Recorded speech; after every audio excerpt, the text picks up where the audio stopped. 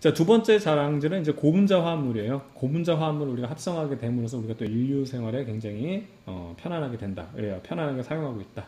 편리하게. 그래서 화학적으로 만든 물질로 생활에 도움이 된다. 이렇게 했어요. 인구가 증가했어. 아까 암모니아 그 합성해가지고.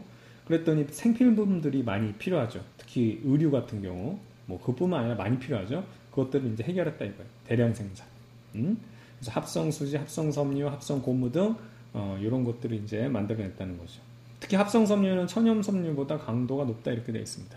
자, 고분자 화합물을 보게 되면 천연 고분자도 있어요. 뭐 녹말, 셀룰로스, 단백질 이런 것들 이런 생물체 내에서 합성하는 것들인데 합성 고분자 우리가 만들었다는 얘기예요. 똑같은 얘기 나오잖아. 뭔가를 합성한다. 어? 여러분 사진 같은 거 포토샵으로 합성했네 이런 얘기하면 사진 한장 하는 게 아니고 사장, 세, 사진을 두 장, 세 장, 네 장을 막 겹쳐가지고 새로운 걸 만들어내는 거 합성이에요. 선생님 아까 그 얘기했는데 그 얘기 바로 나오잖아. 우리 생명과학 처음 공부할 때 뭐 하냐면 물질대사 공부할 때 어, 동화 반응, 이화 반응 공부해요.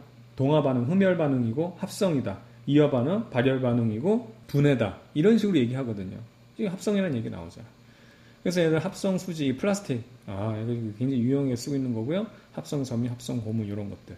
자, 이거는 뭐 상식적이에요. 시험 문제 뭐 나올 가능성은 희박한데 그냥 간단하게 설명하면 열 가소성 플라스틱과 열 경화성 플라스틱이 있죠. 가소성은 어떻게 열에 의해서 모양이 변하는 거. 경화성은 한번 걷으면 가열해도 모양이 변하지 않는다. 경화라는 거 완전히 굳어버리는 거거든요. 동맥 경화 이런 거 있죠. 동맥이 딱딱하게 굳어지는 겁니다. 음? 그런 거예요. 좋습니다. 이렇게 정리하면 되겠고요.